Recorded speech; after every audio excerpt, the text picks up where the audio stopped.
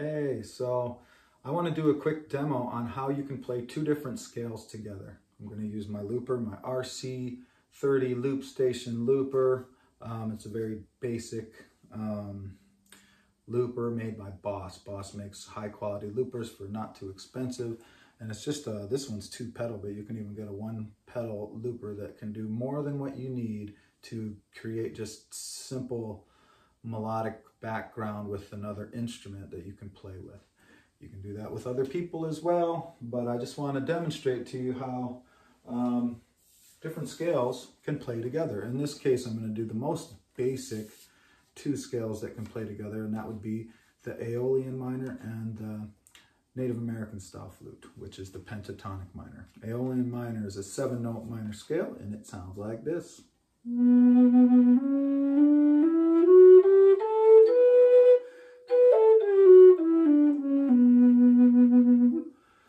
And so um, all of the notes on the Native American style flute, the pentatonic minor, are in here as well. I'll play them really quick. Watch my fingers. It's um, to achieve the pentatonic minor, you lift the bottom two simultaneously and the top two simultaneously. And the highest note you're going to be getting with all fingers covered except the top note. That is the same with um, any penny whistles or anything like that. I've always been tuned that way. Um, transverse flutes typically are that way. I think even quena flutes do that as well, and Arabian flutes.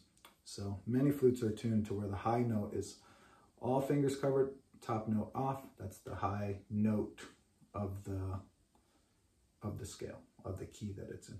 Okay, so again.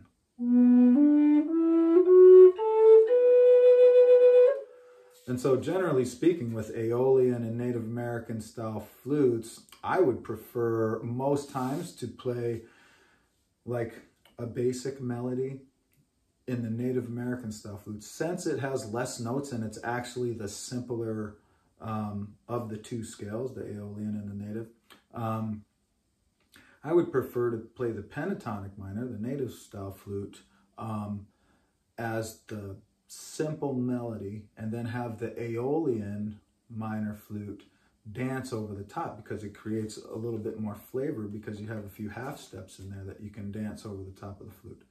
In this case, I'm actually going to play the low B, and this is one of those contrabass um, F sharp custom order. Gorgeous. Look at that abalone inlay. Yep.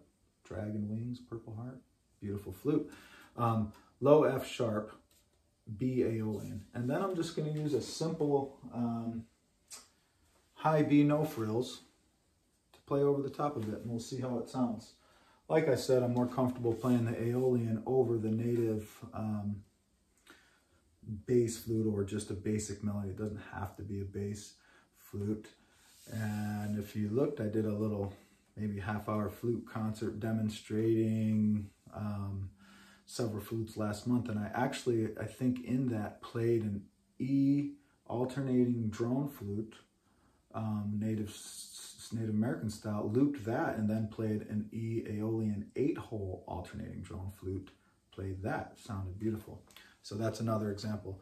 But here I just want to show you once again that they absolutely can be played together. Um, and so in purchasing flutes, keep that in mind. It gives yourself some diversity, but also it doesn't mean they have to be played alone. You can play with a, an Aeolian with another flute player if you get the same key that they got. So if you're ever thinking about purchasing, trying something new, something to keep in mind.